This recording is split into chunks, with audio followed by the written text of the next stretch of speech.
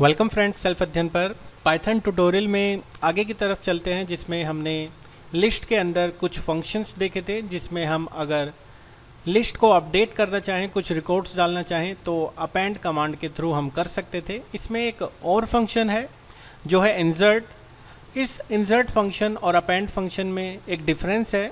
Append by default last में हमारे जो भी नंबर या जो भी स्ट्रिंग डेटा है, उसको अपडेट करता है, लेकिन इंसर्ट हम किसी पर्टिकुलर पोजीशन पर अपनी वैल्यू को डाल के कर सकते हैं। जैसे, हमने ऑलरेडी कुछ डेटा डाला हुआ है my list dot insert function use करते हुए पैरेंथेसिस ओपन करने के बाद हमने लिया है टू इसका मतलब टू इंडेक्स वैल्यू पर हमारी ये वैल्यू 92.5 अपडेट हो जाएगी।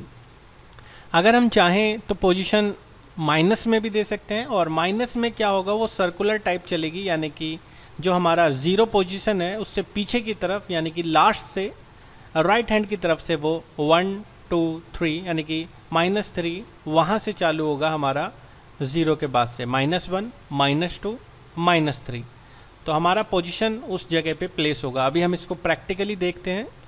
सपोज़ यहाँ पर हम एक लिस्ट ले लेते हैं, जिसमें हम कुछ डेटा पास करा देते हैं ट्वेल्व एंड थर्टीन सिंपल हमने यहाँ पर डाटा डाला है एल टाइप में हमने 12 और 13 देखा। अब हम इसमें इंसर्ट फ़ंक्शन का इस्तेमाल करते हुए पहली पोजीशन पर कुछ डेटा डलवा रहे हैं। एंटर करने पर जब हम इस एल को डिस्प्ले कराएँगे तो आप देखेंगे ज़ीरो पे हमारा 12 था वन पोजीशन पर हमारा 90 अपडेट हो चुका है और 13 हमारा लास्ट में शिफ्ट हो चुका है। यानी कि यहाँ पर वैल्यू अपने अकॉर्डिंग हम इंडेक्स सेट कर सकते हैं। इसलिए ये हमारा म्यूटेबल है। इसमें हम चेंजेस कर सकते हैं। अगर हम माइनस की ओर देखें, जो अभी हमने देखा था तो यहाँ पर ज़ीरो के बाद हमारा माइनस वन हम दे देते हैं और माइनस वन पे हम यहाँ पर ट्वेंटी टू नंबर को डिस्प्ले करा रहे हैं ऐड करा रहे हैं अपडेट करा रहे हैं। एल हम देखा यहाँ पर कि लास्ट से हमारा position zero minus one twenty two update हो चुका है। तो ये हमारा लेफ़्ट टू राइट चलता है। अगर नेगेटिव है, वरना हमारा राइट की तरफ़ चलता है लेफ़्ट टू राइट चलता है। तो यहाँ पर पीडीएफ में कुछ और भी एग्जांपल्स हैं, इनको आप प्रैक्टिकली कर सकते हैं और अच्छे से इन चीज़ों को सीख सकते हैं। नेक्स्ट हमारा जो फ़ंक्शन है, वो है इंडेक्स फ़ंक्शन इंडेक्स फ़ंक्शन हमारे वैल्यूज़ के इंडेक्स नंबर को यहाँ पर शो करता है। जैसे ऊपर की तरफ़ हमने किस नंबर को किस पोजीशन पर डालना है वो हम डाल सकते थे, लेकिन यहाँ पर हमारा चेक करने के लिए है कि किस पोजीशन पर हमारा नंबर पड़ा हुआ है।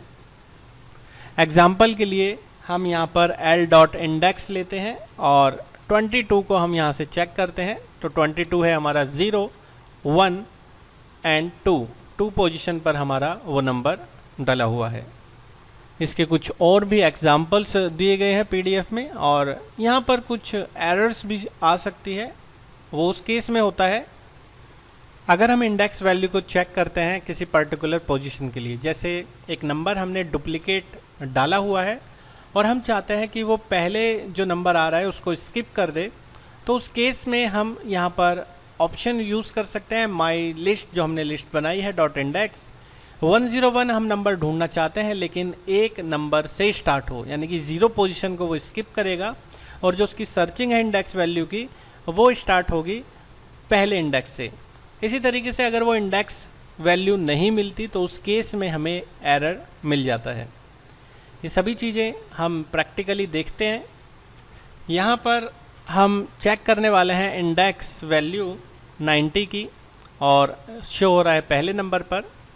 सपोज़ हम एक और वैल्यू डाल देते हैं। अभी यहाँ पर हम देखें तो हमारे लिस्ट में zero one two three three value पड़ी हुई है। हम सीधे सीधे चौथे इंडेक्स पे एक वैल्यू और डाल लेते हैं नाइन्टी का। तो यहाँ पे एरर इसलिए आया है क्योंकि वो इंडेक्स वैल्यू एम है। अगर हम ये काम थर्ड इंडेक्स पे करते और 90 नंबर को अपडेट कराते तो यहाँ पर उस केस में एरर नहीं आती क्योंकि ऑलरेडी इंडेक्स वैल्यू अवेलेबल है और आप देखेंगे कि 90 नंबर अब आ चुका है और दो बार वो दिखाई दे रहा है।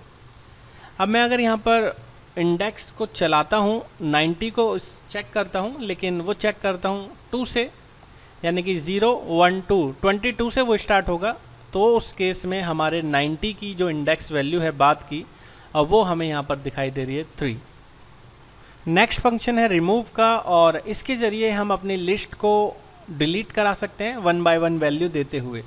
अगर वो लिस्ट में नंबर एग्जिस्ट नहीं करता, उस केस में हमें एरर शो होती है। तो आइए प्रैक्टिकली देखते हैं इसको। हमने यहाँ पर कुछ लिस्ट बना दी है जिसमें 12, 13, 14 इस तरीके से हमने नंबर डाले हुए हैं। लिस्ट अगर आप देखें तो उसमें भी यहाँ वैल्यू पड़ी हुई है। और अब हम रिमूव फ़ंक्शन का इस्तेमाल करते हुए 12 वैल्यू को रिमूव कर रहे हैं। अब अगर हम लिस्ट वापस से देखें तो आप देखेंगे 12 वैल्यू वहाँ से हट चुकी है। अगर हम रिमूव फिर से करते हैं 12 वैल्यू को, क्योंकि वो एग्जिस्ट नहीं करती तो उस केस में हमें वहाँ पर एरर शो करेगा। उसके बाद हमारा जो फ़ंक्शन है पॉप फ़ंक्शन वो भी हमारा डिलीट करता है, हमारी लिस्ट से डेटा को बट वहाँ पर वो शो भी करता है कि कौन सा रिकॉर्ड या नंबर उस इंडेक्स वैल्यू से डिलीट किया गया है। यानी कि हमने ऊपर देखा था, हम सीधे वहाँ पर वैल्यू देते थे, लेकिन यहाँ पर इंडेक्स वैल्यू देते हैं, और इंडेक्स वैल्यू से कौन सी हमारी वैल्यू डिलीट हुई है, वो यहाँ पर शो कराता है। अब अगर हम यहाँ पर चेक करें एल डॉट पॉप और यहाँ पर वन पास करा दें, क्योंकि वन पे हमारा डेटा है फोर्टीन का तो वो यहाँ पर शो करा रहा है कि हमारी कौन सी वैल्यू पॉप हुई है, और लिस्ट में अब हमारा सिर्फ़ रह गया है थर्टीन नंबर अगला जो फ़ंक्शन है, वो है रिवर्स फ़ंक्शन और ये हमारी लिस्ट को एक रिवर्स ऑर्डर में सेट कर देता है, यानी कि हमारा जो लिस्ट है, वो हमें रिवर्स में डिस्प्ले होगी। उसके बाद हमारी जो इंडेक्स वैल्यू है, वो भी चेंज हो जाती है, यानी कि अगर ज़ीरो पे देखें तो अभी है 102 लेकिन अगर हम रिवर्स कर दें तो उस केस में ज़ीरो इंडेक्स पे हमारा ये लैंग्वेज पहुँच जाएगा। आइए प्रैक्टिकली देखते हैं इसको भी। हम यहाँ पर कुछ लिस्ट में डेटा ले लेते हैं। ट्वेल्व, नाइन, कोई नाम और उस नाम के बाद हम कोई डेसिमल वैल्यू भी ले लेते हैं।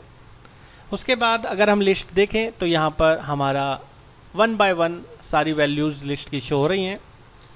और अगर हम यहाँ पर लिस्ट को रिवर्स कर दें तो उस केस में हमारा लिस्ट जो है वो रिवर्स ऑर्डर में सेट हो जाता है। अगर मैं लिस्ट की यहाँ पर पहली इंडेक्स वैल्यू को देखता हूँ तो यहाँ पर हर्षित नाम हमें शो हो रहा है। तो ये हमारा रिवर्स फ़ंक्शन है, जो हमारी लिस्ट को रिवर्स ऑर्डर में सेट कर देता है, और उसके बाद उसकी इंडेक्स वैल्यू भी बदल जाती है। अब अगर हम कॉपी फ़ंक्शन का इस्तेमाल करते हैं तो हम एक एम लिस्ट के अंदर हमारी डेटा को, जो कि दूसरी लिस्ट में अवेलेबल है, वहाँ से कॉपी करा सकते हैं उसका टाइप भी लिस्ट टाइप ही होता है। इस फ़ंक्शन को हम पढ़ने वाले हैं, उसके बाद हम बाकी की जो फ़ंक्शंस हैं, वो नेक्स्ट वीडियो में कवर करेंगे। कॉपी फ़ंक्शंस को प्रैक्टिकली देख लेते हैं सबसे पहले। जैसे हमने यहाँ पर लिस्ट बनाई थी, अब एक हम एम लिस्ट यहाँ पर बना देते हैं, उसके बाद हमारी इस एम लिस्ट में, यानी कि L2 में, हम करवा देते हैं एल डॉट कॉपी इसका मतलब जो भी हमारा लिस्ट में डेटा है, वो L2 में चला गया है, और L2 में अगर हम देखें तो वो वैल्यू वही आ रही है जो हमारी एल लिस्ट में हमने डाली थी और इसका टाइप भी अगर हम देखें एल टू का तो वो भी एक लिस्ट टाइप का है। तो ये कुछ फ़ंक्शंस हमने देखे लिस्ट के अंदर। आगे और भी फ़ंक्शंस के बारे में हम डिस्कस करने वाले हैं आज की वीडियो में इतना ही। बाकी के अपडेशन के लिए जुड़े रहिए सेल्फ अध्ययन के साथ। Thank you